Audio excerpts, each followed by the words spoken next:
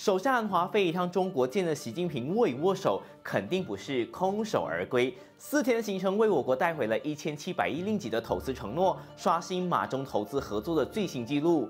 不过还是有人质疑啊，这一次投资收获是真的会对我国带来好处，还是只是拉拢大马所派出的亲中糖果？大马以后也必须要有所回报呢？Malam pulang dari negara China.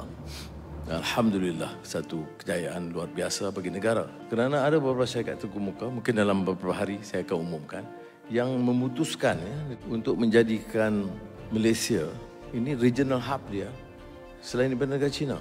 首相安华今天在首相署常月集会强调，这趟中国行是一项非凡的成就，还有很多的好消息还在排着队，会陆续有来。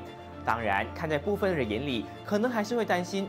庞大的数字背后是否另有意图？会不会只是大麻在中美两大强权博弈当中选边站，倒向中国，这个弃美亲中的诱饵而已呢？国防大学国际关系安全与法律系讲师莫哈莫米詹阿斯兰博士在接受阳光日报访问时，就不排除这有可能是中国要赢取大马支持的糖果。但是他认为这只是次要的考量，因为最主要的重点还是帮助提升我国经济，照顾国人的福利。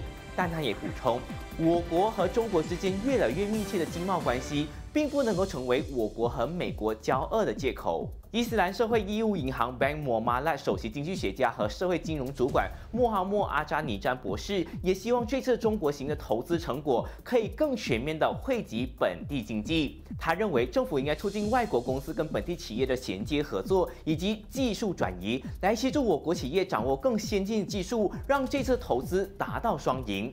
中国企业能够赚到钱，我们也能够获得好处。这一次马中投资承诺创新高，我们作为贸易小国，要如何在两大强权当中找到最合适的生存之道呢？鱼与熊掌真的不能够兼得吗？团结政府这样的走向，你认为这是预告了我国未来会比较轻重的外交政策吗？